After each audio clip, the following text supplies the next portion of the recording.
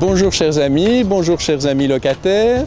Je suis Philippe Vandenberg, le président du Cocolo de Floréal. Alors les Cocolos, qu'est-ce que c'est? Ce sont les conseils consultatifs des locataires qui existent depuis 2004 et qui sont composés de locataires élus par vos soins. Les Cocolos vous représentent auprès des sociétés de logement. Ils se préoccupent de vos problèmes et de vos questions collectives ou de groupes d'habitants. Cela se fait à travers quatre missions essentielles que je vais vous présenter brièvement. La première, c'est recevoir et émettre des avis. C'est recevoir des avis de droit de la part de la société de logement sur des problèmes de rénovation, par exemple. C'est émettre des avis d'initiative sur les questions qui vous préoccupent. La deuxième mission, c'est participer au conseil d'administration la troisième mission, c'est organiser, collaborer à des fêtes de quartier, des projets d'animation socioculturelle. Et la dernière mission, c'est organiser une fois par an une réunion générale d'information sur l'activité réalisée par votre cocolo durant, durant l'année écoulée. Tous les locataires du logement social peuvent devenir délégués Cocolo. Des élections sont organisées régulièrement et toute personne intéressée peut se présenter. Alphonse, ça va bien Bonjour madame? Nous sommes l'intermédiaire ou les représentants légalement reconnus et élus démocratiquement via notre euh, représentants administratifs au conseil d'administration pour soulever les problèmes qu'il y a dans les différents sites euh, appartenant au logement molenbeekois et le travail à travers la permanence que nous avons euh, euh, installée dans notre local où nous avons reçu comme pas mal de locataires qui viennent chacun avec son problème, que ce soit donc le problème de calcul de loyer, que ce soit le problème de, charge, ou problème individuel, ou autre problème qui, donc, qui concerne l'ensemble des locataires dans un bâtiment ou qui concerne les abords des immeubles euh, du logement molenbeekois. Le premier objectif, et même le principal, étant d'un cocolo, est celui de de se préoccuper du collectif des locataires, de tous les espaces qui sont, collectifs. Donc ici, il y a un potager, mais bon, on peut parler aussi du tri sélectif ici, où j'ai remis aussi un avis d'initiative avec mon équipe. Nous nous trouvons ici au potager d'Oasis, qui se situe au square Gérard Van Collart à Saint-Gilles.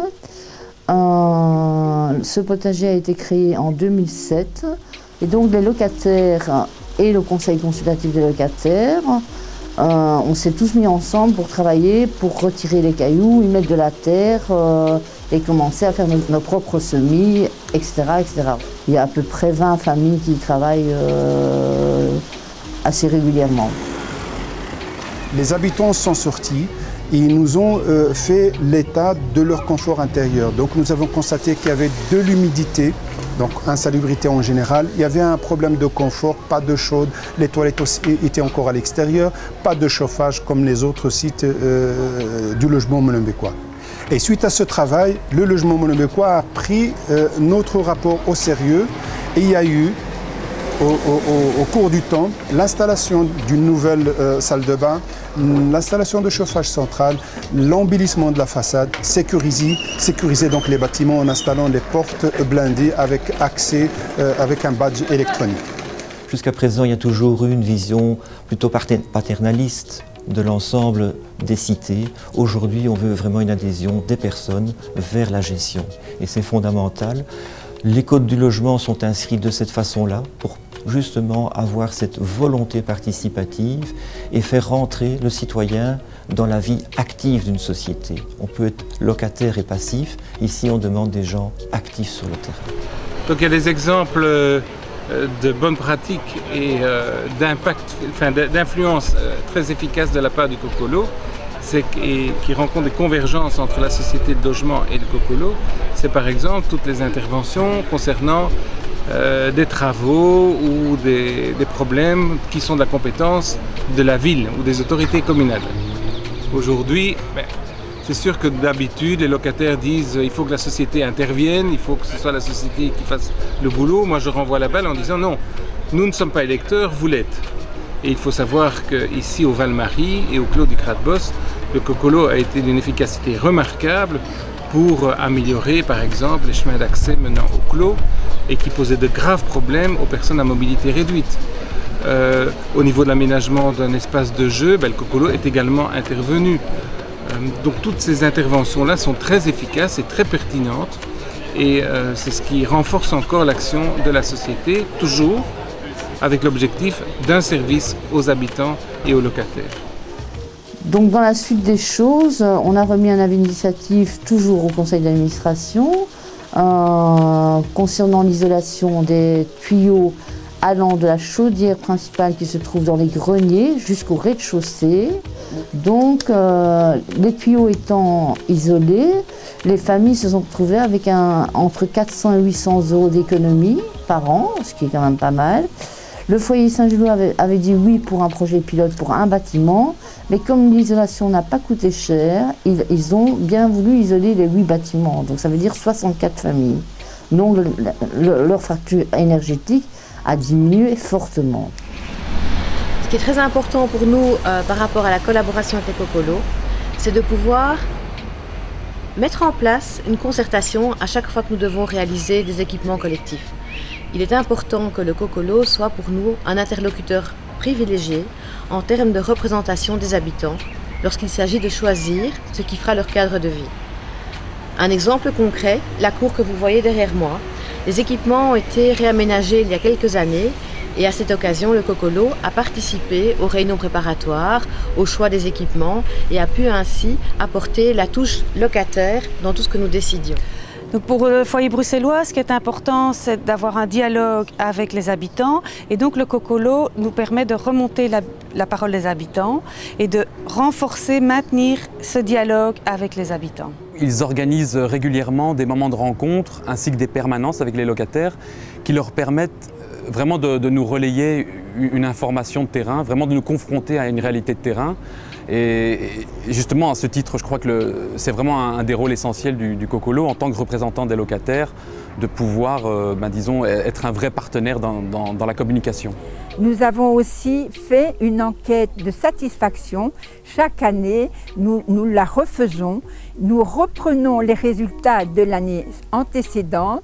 Nous prenons et nous faisons une analyse du contenu de ces enquêtes et nous les imprimons pour les redonner en feedback donc aux locataires ainsi qu'à chacun des administrateurs du CA.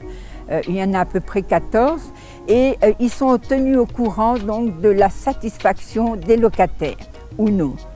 On a élaboré avec le Cocolo et le projet de cohésion sociale un outil qui va permettre au Cocolo de mieux comprendre les décomptes des charges et ensuite de mieux pouvoir l'expliquer aux locataires. Donc on, fait ça ensemble pour que le langage soit le même et facile à comprendre par tout le monde. Quant au rôle de la SLRB, il faut donc préciser que nous sommes le pivot de toute l'organisation des Cocolos, à savoir que le gouvernement a voulu avoir un fer de lance qui permette d'avancer sur les dossiers, d'être central par rapport au dispositif, et donc la SLRB s'est engagée à justement mettre toutes ses troupes au service de la population, faire avancer les dossiers, faire que finalement la vie des citoyens soit écoutée. C'est une chose fondamentale pour la vie en société, pour la qualité de vie dans les sociétés. Et c'est bien là où le rôle primordial de la SLRB en termes de cohésion sociale est inscrit dans notre contrat de gestion et aussi dans notre charte de qualité. Alors au, niveau de la convivialité, au niveau de l'animation, le, Cocolo du foyer bruxellois a, déjà organisé pas mal de, fêtes de quartier euh, et notamment euh, une tournée annuelle Saint-Nicolas euh, qu'ils font à l'aide d'un bus et qui leur permettent vraiment d'aller à la rencontre des, locataires au, sein de leur site même. Et ça, je trouvais que c'est vraiment une idée très très originale parce qu'effectivement, on, a parfois au sein des CISP des, sites assez dispersés et, le Cocolo euh, permet de jouer un petit peu ce, lien entre les locataires. De plus en plus, les gens, de bouche à oreille, au fait de quartier, les gens viennent et ils font connaissance de leurs voisins. Parce que nous sommes tous voisins. Même que tu habites à l'autre bout de la rue, c'est ça que je trouve génial. Parce que je peux aller n'importe où dans, dans le Val-Marie ou dans le Cradbos, tout le monde me connaît. C'est dire, ah, c'est Monsieur Cocolo.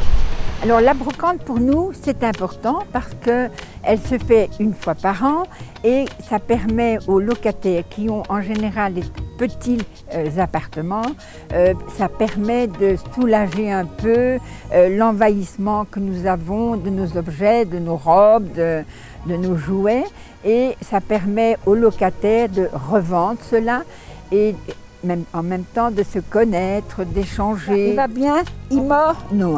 Oh, oh, quelle bonne bête. Ça, c'est votre chouchou, hein Oui, c'est mon chouchou.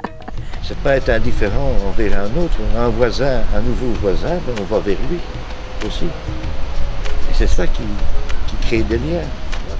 On se fait comprendre même que la personne, le locataire ne sait pas euh, s'expliquer en français. On, sait, on se comprend sans, en, en, geste et en visuel. Et là, ce sourire que qu'on voit sur le visage quand les personnes vous voient, c'est formidable. C'est là qu'on voit qu'on a réussi quand même quelque chose. Par rapport donc à la participation des habitants euh, dans une rencontre avec la direction, avec nous, c'est vraiment euh, difficile. Mais ce que nous avons mis, c'est un effort supplémentaire de la part de tous les délégués de Cocolo, c'est d'aller vers les gens, les faire sortir. Malgré l'information et la, publication, nous avons été sonner chez les gens pour les faire sortir et les rencontrer pour voir qu'est-ce qui ne va pas. Alors, au début, on était deux à trois, on s'est retrouvé à peu près 36 personnes. Donc, euh, ils sont sortis pour un peu, puisqu'il y avait parmi nous ceux qui parlent espagnol, ceux qui parlent euh, néerlandais, ceux qui parlent arabe et le français, et ils se sont mis à l'aise pour exprimer leur désarroi et leurs problèmes intérieurs. Quand il y a eu l'opportunité de créer les cocolos, on s'est directement euh, positionné clairement en faveur de cette initiative pourquoi? Parce qu'on y voyait une possibilité encore de renforcer la présence des utilisateurs du logement dans les organes de gestion.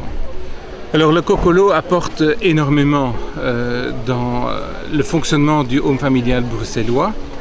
Euh, il l'apporte parce que ce sont des gens qui s'investissent dans ce service aux autres locataires et qui font vraiment l'interface correcte entre les locataires et la société de logement. Au début, lorsque je suis arrivée dans ce cocolo, euh, nous avions beaucoup de difficultés euh, pour se faire entendre par le CA, par la CISP donc. Et euh, ça a été vraiment notre point important, c'est d'améliorer cette relation et nous y sommes arrivés. C'était vraiment euh, euh, un peu ardu au départ et actuellement les relations sont très cordiales. Euh, nous sommes un peu un aiguillon pour ce CA qui est de loin et donc qui ne se rend pas toujours compte des vrais problèmes qui se passent ici à la Cité de l'Amitié. Donc le cocolo, c'est quelque chose d'important dans la vie d'une CISP. Ce c'est pas toujours simple à gérer mais il y a moyen de trouver des solutions. En fait, euh, quand j'étais devenu président, ça n'était pas évident. Puis on a trouvé euh, petit à petit une nouvelle méthode de travail.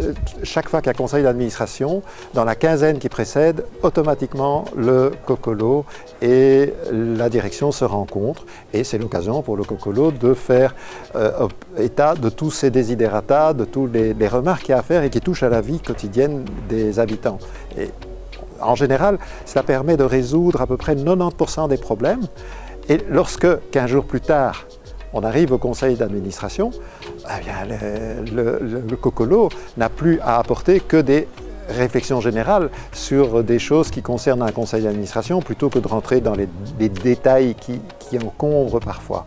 Alors voilà, c'est une, une façon de faire, il y en a peut-être d'autres. Tous les éléments du système ont leur fonction. Vous devez pouvoir identifier, à partir des réalités de votre quartier, l'ensemble de ces acteurs-là. Les délégués Cocolo, quand ils sont élus, ils ne sont pas tout seuls. D'abord, ils fonctionnent dans une équipe, c'est un groupe de plusieurs personnes. Et puis, par ailleurs, euh, ce groupe est accompagné par plusieurs associations. Euh, les associations qui sont chargées de les accompagner organisent des formations, des temps de rencontres et d'échanges. Euh, et puis, on organise aussi ce qu'on appelle l'accompagnement localisé. Donc, on vient rencontrer les groupes sur place pour pouvoir, euh, à partir de leurs difficultés et de leurs questions, eh bien, les aider à trouver des solutions pour qu'ils remplissent au mieux leur mission. Alors, quels sont les moyens concrets aujourd'hui que nous donnons au COCOLO C'est à la fois des moyens financiers, des moyens en termes de locaux, des moyens en termes de formation et d'information, et aussi des réunions, des tables rondes et tous les supports méthodologiques pour pouvoir travailler d'une commune voix vis-à-vis des locataires. Le Cocolo est un acteur présent euh, du quartier et on est vraiment en collaboration avec eux euh, au quotidien. Grâce à eux, qui eux sont le porte-parole des habitants, on peut faire des, euh, des, réunions avec les habitants, on peut faire des fêtes de quartier et on a vraiment un travail de réseau avec eux. C'est un partenariat qui est au quotidien. moi, je crois que c'est important de, de m'investir dans, dans ceci. Et le, groupe m'a fait confiance et il m'a nommée présidente. Je pensais changer tous les, toutes les années, mais ça fait trois ans, je tiens le coup. à travers ces différents témoignages extrêmement intéressants, nous pouvons affirmer que les conseils consultatifs des locataires sont un magnifique endroit de démocratie participative.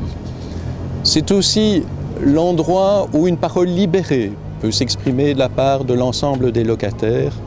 Et c'est enfin l'endroit où l'humain est mis en avant par rapport à une gestion stricte de la part de vos cités de logement. Si tout ce que vous venez de voir vous a donné envie de participer davantage à la vie de votre société de logement, si vous avez vous aussi envie de devenir un délégué Cocolo, n'hésitez pas, contactez votre société de logement, toutes les infos nécessaires y sont disponibles.